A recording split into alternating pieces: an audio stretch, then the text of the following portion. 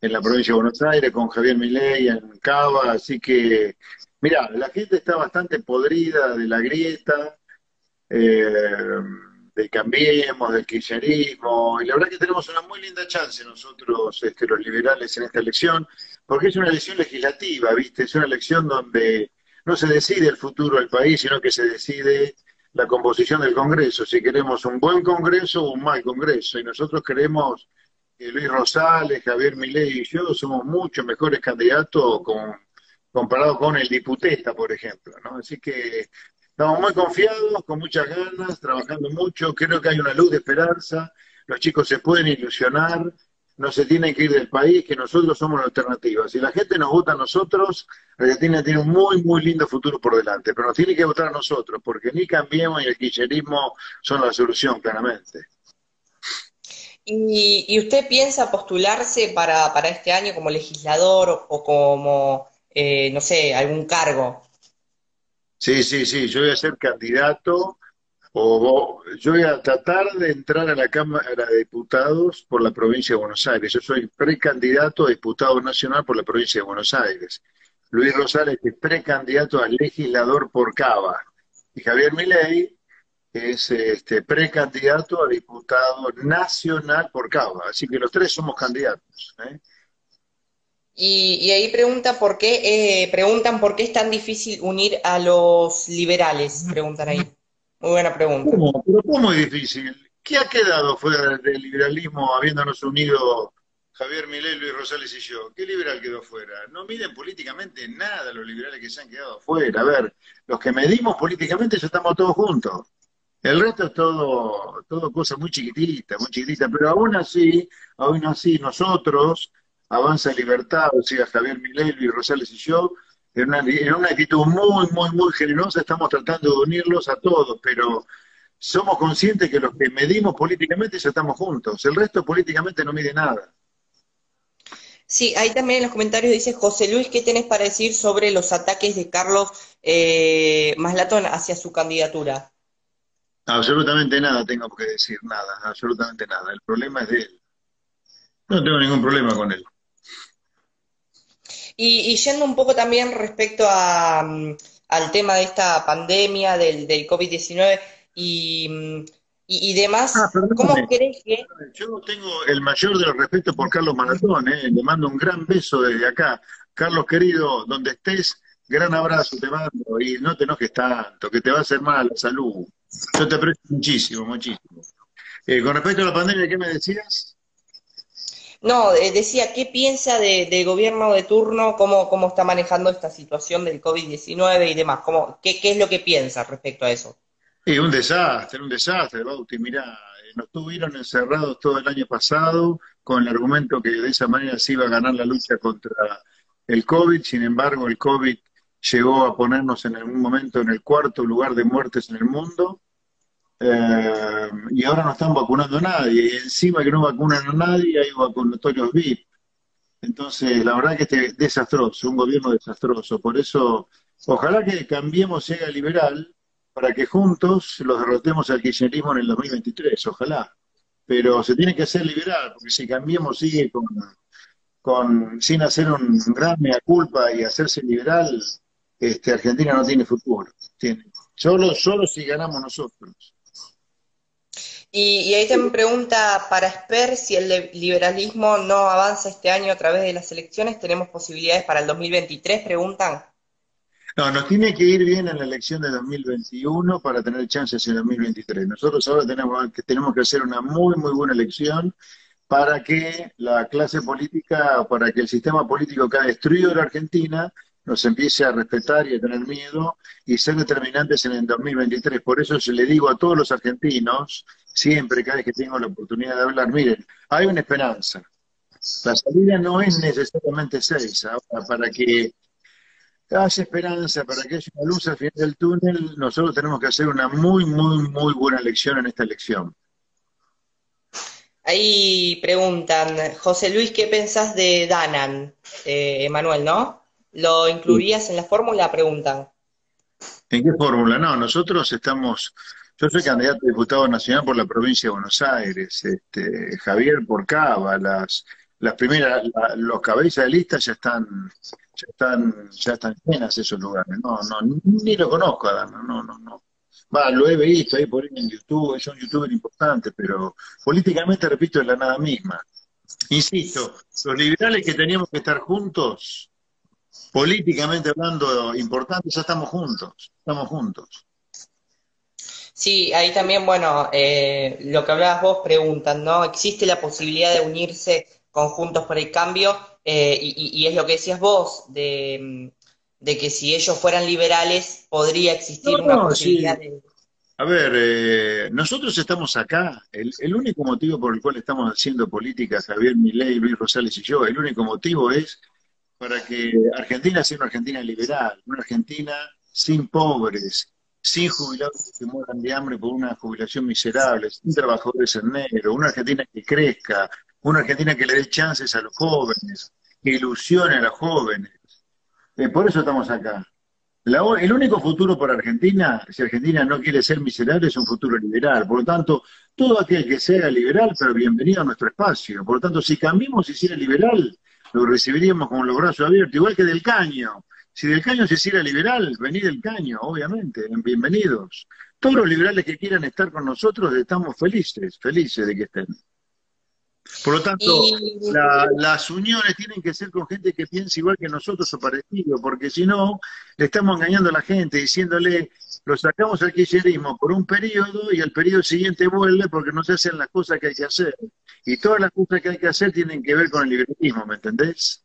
Sí, ¿Y, cuáles son sus propuestas? Preguntan ¿no? acá en, los comentarios para las relaciones internacionales eh, en, estos años si usted eh, es electo como, como diputado. Para que se queden tranquilos todos los que nos escuchan, nosotros en el 2019, hace dos años, menos de dos años, en las elecciones de 2019 nos planteamos como candidatos a presidente. Como candidato a presidente desarrollamos una plataforma electoral que es todo nuestro programa de gobierno. O sea que nosotros estamos llenos de propuestas. De hecho, en la página avanzalibertad.com está la plataforma de gobierno nuestro, está todo nuestro programa de gobierno. Ese programa de gobierno que lo hubiéramos llegado a cabo de ganar la presidencial de 2019, lo llevaríamos adelante si ganáramos o si eh, eh, fuéramos diputados, elegidos diputados en esta elección. En el caso de las relaciones internacionales, nosotros creemos que hay que seguir reclamando por las Islas Malvinas, pero la manera de reclamarlas es una manera inteligente.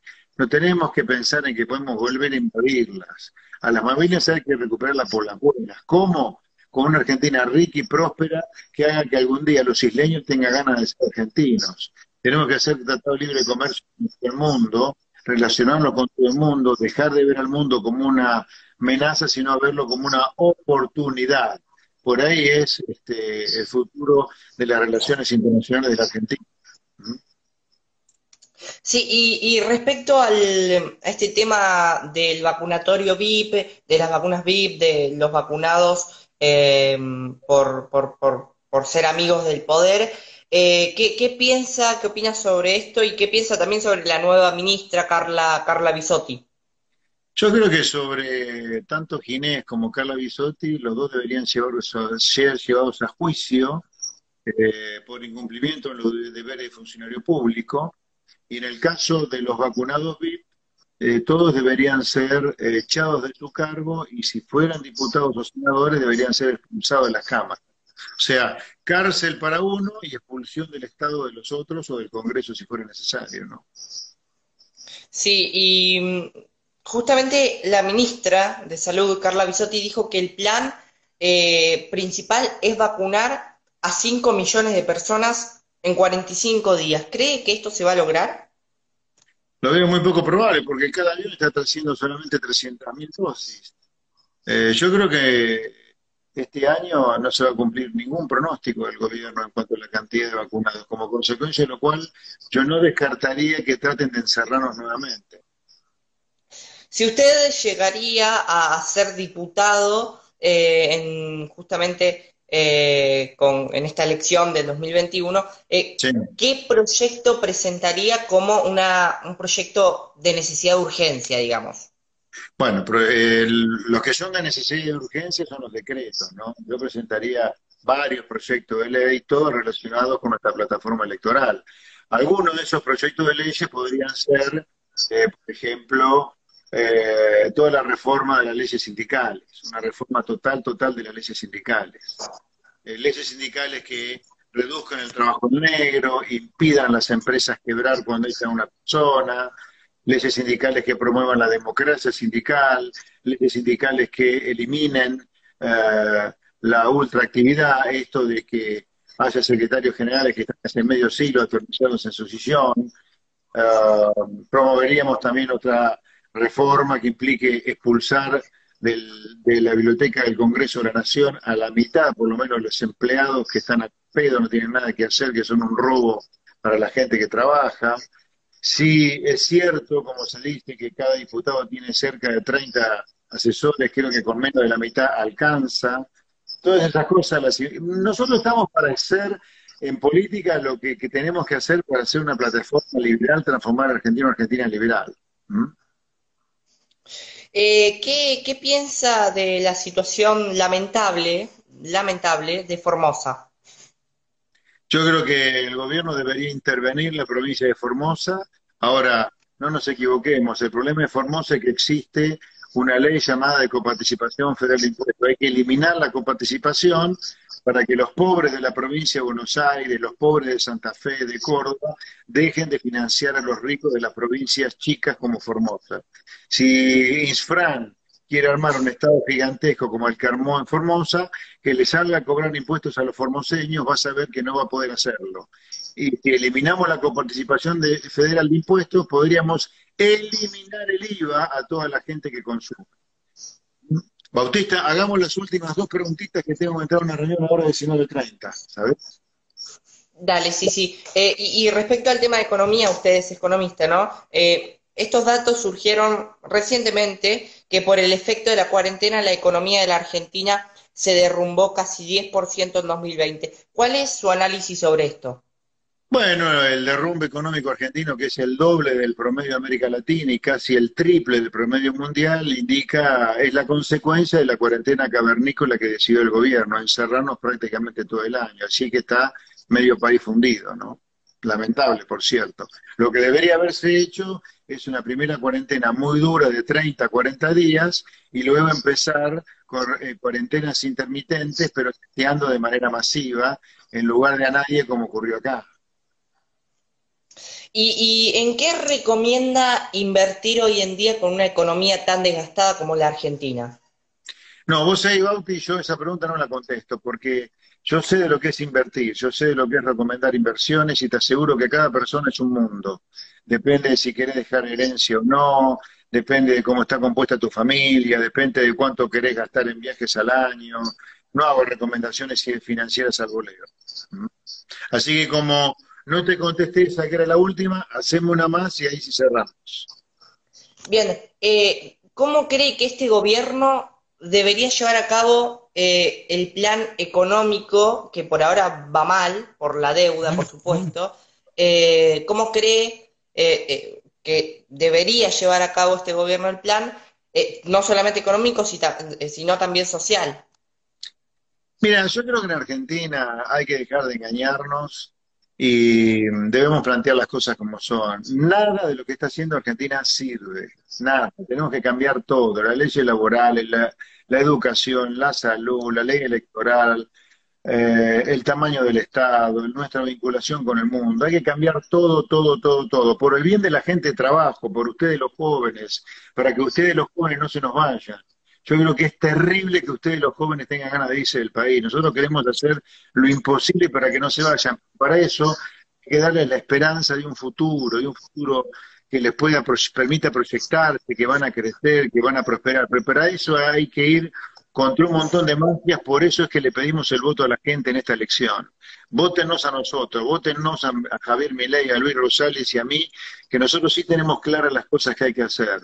No la tiene clara, a ver, el kirchnerismo es la antítesis de todo esto y también todavía muestra muchas dudas sobre lo que hay que hacer. Muchas gracias, José Luis, por, su tiempo, por, estos minutos y, y un saludo grande. Bueno, un abrazo grande, chao. Saludos a todos los que están escuchándonos.